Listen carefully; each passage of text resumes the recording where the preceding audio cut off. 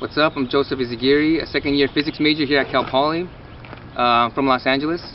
My name is Ed Izaguirre. I'm also a second year physics major from Los Angeles. Uh, I love reading.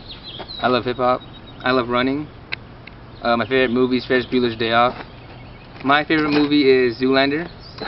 And shout out to uh, the Cal Poly Distance Club and the Gammas and the Chow family. You know how it is.